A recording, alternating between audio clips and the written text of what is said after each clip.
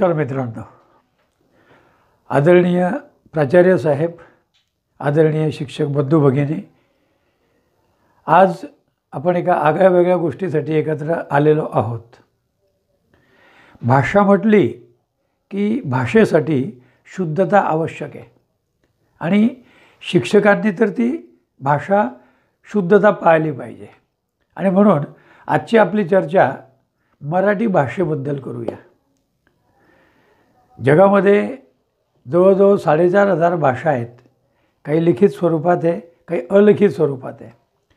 पण माझा प्रदीर्घ जो अनुभव आहे पंचेचाळीस वर्षाचा भाषा अध्ययन अध्यापनाचा तर मला असं लक्षात आलं की प्रत्येक भाषा शिक्षकाला त्या भाषेची व्युत्पत्ती आणि तिचं कल्चर कळलं पाहिजे.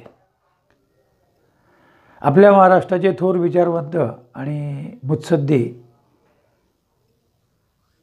यशवंतरावजी चव्हाण एके ठिकाणी असं म्हणतात कारण मी दहावीला असताना त्यांचा धडा होता आम्हाला की मातृभाषा ही कशी वाढली पाहिजे तिचं संवर्धन कसं केलं पाहिजे. जसं ऊस लावल्यानंतर आपल्या जमिनीतला रस अर्क न्यूट्रिशियस एलिमेंट्स हे सगळे जे पोषक द्रव्य आहे ती जमिनीतून ऊस घेतो आणि ऊस फोफावतो. तसं आपल्या मातृभाषेचं संवर्धन करण्यासाठी आपल्या मातृभाषेतूनच विचार करायला शिकलं पाहिजे. आपण आंग्ल भाषेबद्दल इंग्रजी भाषेबद्दल वेगळा विचार करू. आता बघा तुमच्याशी बोलत असताना इंग्रजीचा प्राध्यापक असल्यामुळे जमिनीतून न्यूट्रिशियस एलिमेंट्स हा शब्द मी ठरवलं होतं की आंग्ल भाषेतून बोलायचं नाही तरी आला असो. मी कट करायला नाही सांगणार. कारण टू अर इज ह्युमन हे जे इंग्लिशमध्ये म्हणतात चुकणं माणूस स्वभाव आहे. आणि हे माझ्या सकट मी सगळ्या माझ्या शिक्षक बांधवांना सांगत आहे. ज्या वेळेला आपण एखाद्या भाषेत शिकवतो त्यावेळेला तो संपूर्ण तास त्या भाषेतूनच झाला पाहिजे. अगदीच अडचण असेल इंग्लिश मिडियमचा वर्ग असेल इंग्रजी माध्यमांच्या शाळा असतील त्यावेळेला जर ख्रिश्चन मुलं असतील दाक्षिणात्य मुलं असतील बंगालचे मुलं असतील त्यांना मराठी शिकवताना जर एखादा शब्द नाही समजला तर आपण त्यांच्या मातृभाषेची किंवा आंग्ल भाषेची मदत घेतली पाहिजे. म्हणजे कुठेतरी अपवाद पाहिजे. जसं जेवताना मीठ लागतं पण ते मीठ एक किलो भाजीमध्ये एक किलो मीठ लागत नाही. अगदी चिमूटभर लागतं. तसं मराठी शिकवताना हिंदी असेल संस्कृत असेल आंग्ल भाषा असेल ते चिमूटभर टाकली पाहिजे. इंग्रजी शिकवताना देखील आपण मातृभाषेची आपण मदत घेतली पाहिजे. असो. आपल्या मराठी भाषेत यमुना पर्यटन. बाबा पद्मनजे म्हणजे मला असं वाटतं की तिथून कादंबरीला सुरुवात झाली. बाबा पद्मनजे हे कादंबरीकार आहेत. पहिले कादंबरीकार आद्य कादंबरीकार. आणि बाबा पद्मजेपासून लिखाणाला सुरुवात झाली. आता तर साहित्याचे विशेष वेगळ्या वेगळ्या शेड्स आपल्याला दिसतात. शिवाजी महाराजांच्या काळामध्ये आजच्या साडेतीनशे वर्षापूर्वी पोवाडे नावाचा काव्यप्रकार होता. आणि पोवाड्यांमुळे जनजागृती झाली. म्हणून भाषा अशी वाढत गेली. आपल्याकडे अर्धमागदी पैशाची प्राकृत ह्या भाषांचे आपले प्रकार आहेत आणि त्याच्यापासून आपली भाषा बनली.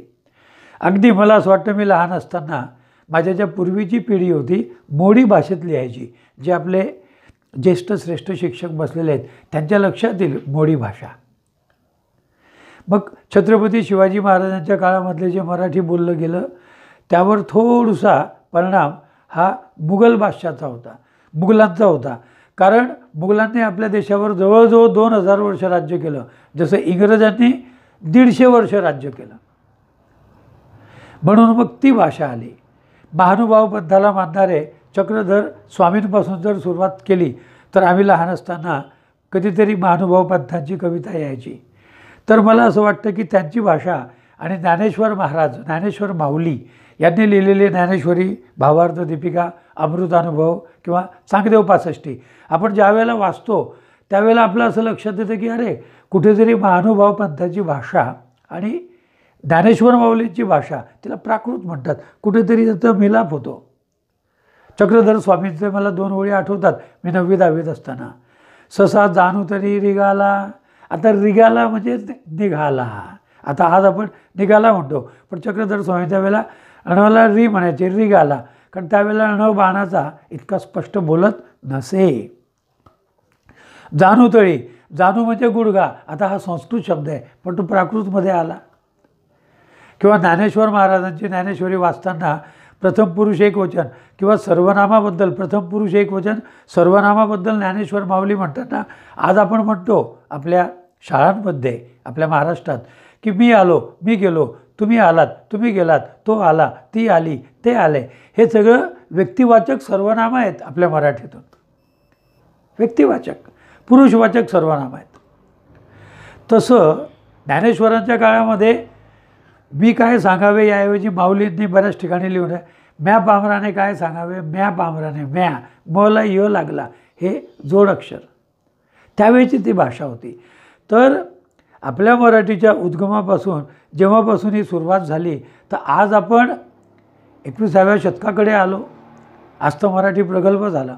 आणि मला बोलताना वाईट असं वाटतं की आज शाळा कॉलेजेसमध्ये मराठीसारखे शिक्षक असतील माझ्यासारखा शिक्षक असेल तर मराठी शिकवताना किमान वीस पंचवीस शब्द आंग्ल भाषेतून येतात इंग्रजी भाषेतून येतात. त्याचं कारण आजूबाजूला वातावरण तसं आहे. फार त्याच्याबद्दल गंभीरतेने विचार नका करू. कारण भाषेचं वैशिष्ट्य आहे की भाषा ही समजून देण्यासाठी बोलली पाहिजे प्रभाव टाकण्यासाठी नव्हे. तुमची माफी मागून बोलतो.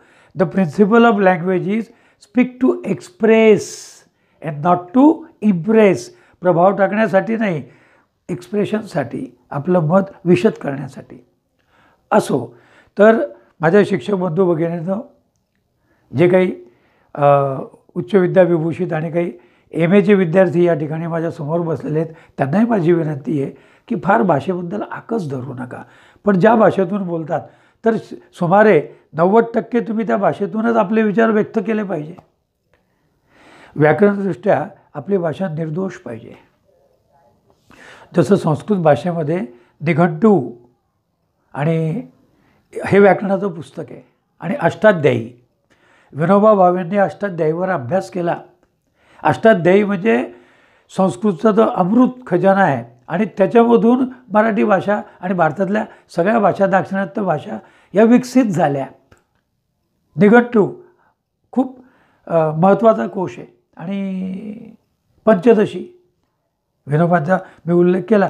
तर ज्यांना ज्यांना खूप मोठं वेदवेदांचं वाच वाचन करायचं असतं त्याने अष्टाध्यायी वाचलीच पाहिजे. पाणीनी वाचलंच पाहिजे कारण पाणीनी हे आद्य संस्कृतचे व्याकरणकार आहेत. आणि म्हणून पुन्हा एकदा एक थोडक्यात तुमच्याशी सांगायचं म्हणजे माझ्या मित्रांना की भाषा त्यांचे उच्चार शुद्ध करा. बाण अण बाणाचा मन न नळाचा. शुद्ध बोललं पाहिजे. कुठे अनुस्वार द्यायचा कुठे नाही द्यायचा. मग रस्व दीर्घ कसं करायचं? एका शब्दाचे सगळे पुरुषवाचक सर्वनाम दीर्घ लिहितात. मी दीर्घ तू दीर्घ ती दीर्घ. पण तिला सला ते सला ना ते. द्वितीय किंवा चतुर्थीचे प्रत्यय लागले की मग ते रस्व होतात. तुला तू पहिला. तिला ती पहिला. पण पुरुषवाचक सर्वनाम ती ती दीर्घ. दूध दीर्घ. तूप दीर्घ. गुळ दीर्घ. पण गुळाचा गणपती पहिला उकार. तुपाचे लाडू त्याला पहिला उकार. दुधाचे पदार्थ दुला पहिला उकार. आज आपण विसरतो आहे म्हणजे माझ्यासारखे शिक्षक लोकांनाही त्याची चिंता वाटते की मुलांना एम ए झाल्यानंतरही मराठीतून शुद्ध लिहिता येत नाही. आणि म्हणून आमच्या न्यू समर्थतर्फे भाषाशुद्धी हे सुद्धा एक कार्य आम्ही घेतलं की नाही यावर माझ्यासारखे आणि माझ्यापेक्षाही जे ज्येष्ठ श्रेष्ठ आहेत अशा सगळ्या संबंधित भाषेतल्या शिक्षकांना आम्ही बोलू.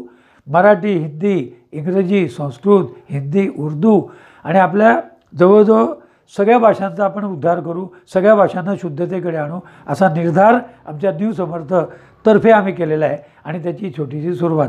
ज्यावेळेला आपण अध्ययन अध्यापनाच्या कुठल्या तरी मीटिंगसाठी एकत्र येऊ सेमिनारसाठी येऊ त्यावेळेला विशद पद्धतीने मी आणि आमचे खूप मोठी टीम खूप मोठा चमू आमचा आहे तो चमू तुमच्याशी बोलेल. पण मित्रांनो वाक्प्रचार आपल्या भाषेत असावे शुद्धता असावी आणि आपल्या भाषेतून चिंतन असावं हे या मराठीच्या दृष्टिकोनातून तुमच्याशी मी सांगू इच्छितो. आपण ऐकून घेतलं. धन्यवाद.